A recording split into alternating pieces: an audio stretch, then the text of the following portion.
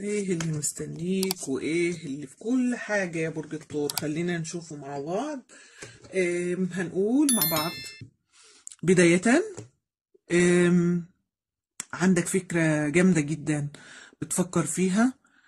قد تكون آه، شغل جديد أو حاجة عايز تبدأها بعد العيد إن شاء الله.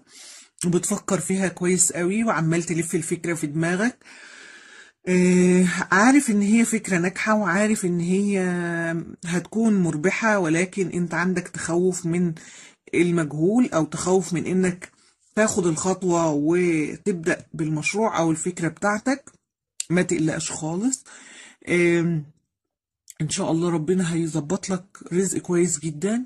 ما كانش الفكرة دي هتبقى أفكار تانية. أفكارك كتير جدا يا برج الثور وفعلا كلها أفكار جميلة. آه خلينا نقول كمان آه بالنسبة بالنسبة للي قالوا لي قولي لنا حلول.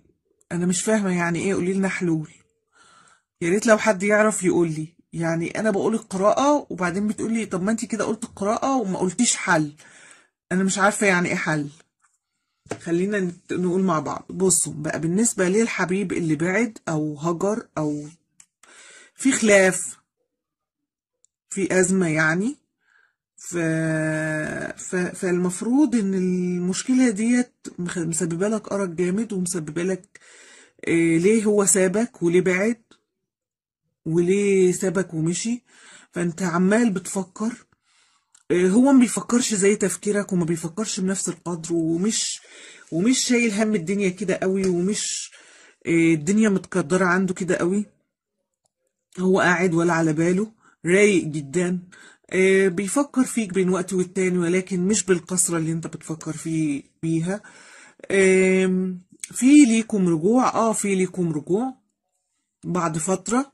آه، تقدر ان انت تستعجل الأمور وتبدأ انت بال- بالصلح أو تبدأ انت بال بالاتجاه ليه. آه، ما تقدرش خلاص يعني ممكن تستنى. آه، في رحيل للهموم والغموم والتعب والأمراض والمشاكل الصحية. آه، اتعرضت للغدر آه اتعرضت للخيانة أيوه. آه، اتألمت كتير من ناس المفروض إن هم أقرب ناس ليك. حسيت بالألم وحسيت بالعذاب جامد. بس خلاص أحب أقولك إن خلاص يا برج الثور الوقت ده عدى وفات.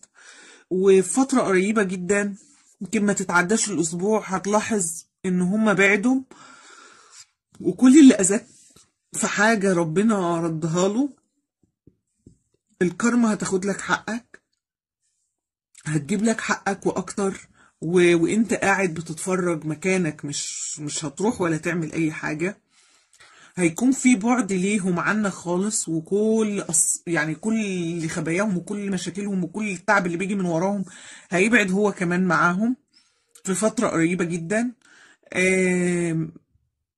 أعادك أو انتظارك للفرج مش هيطول لأن الفرج خلاص بقى قريب.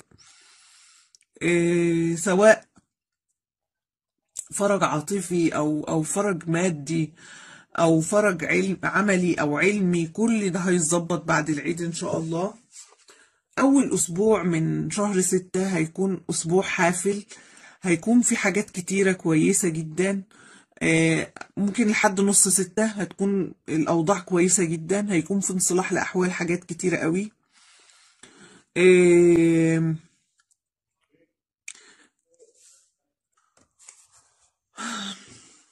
معلش أسفة القطع بس كان حصل دوشة جامدة فكنت قمت أشوفها. فتمام خلينا نرجع تاني ونكمل بقية قراءتنا. آه، قراءتنا بتقول إن الشريكين أو الشخصين اللي أنت محتار فيهم ومش عارف أنهي منهم الخير وأنهي منهم الشر أو العلاقتين اللي أنت فيهم وأنتش عارف تكمل في أنهي ولا تسيب أنهي آه، الموضوع ده صعب جدا. حاسس بالحيرة حاسس بالقلق والتوتر ما انتش عارف تعمل إيه برج الثور آه واقف بينهم محتار استنى وكل بس يعني أقل من يومين ثلاثة وكل واحد هيبان على حقيقته وهتعرف اختيارك يبقى في أي اتجاه. آه ما تقلقش ال- الاختيار مش هيكون من جهتك الاختيار هما اللي هيديهولك هما اللي هيوضحوا لك الأمر هما اللي هيبعتوا لك الإشارة آه، تكمل في أنهي علاقة وأنهي تنهيها. في انكشاف لأمر مهم جدا كان غايب عنك بقاله فترة.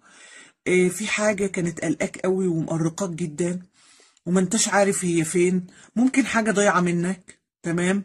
ممكن حد عامل فيك حاجة أو انت تعرضت لأذى ومش عارف مين الشخص اللي أذاك.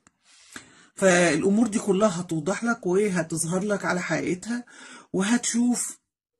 يعني بص ربنا هيديك آه، شيء من الشفافية الزايدة.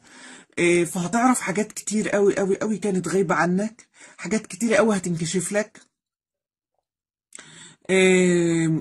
خلينا نقول إن في بعض من برج الثور الأيام دي بيمروا بظروف مادية صعبة وبيحاولوا إن هم يقلصوا المصروفات بتاعتهم علشان يقدروا يعدوا من الأزمة دي بسلام.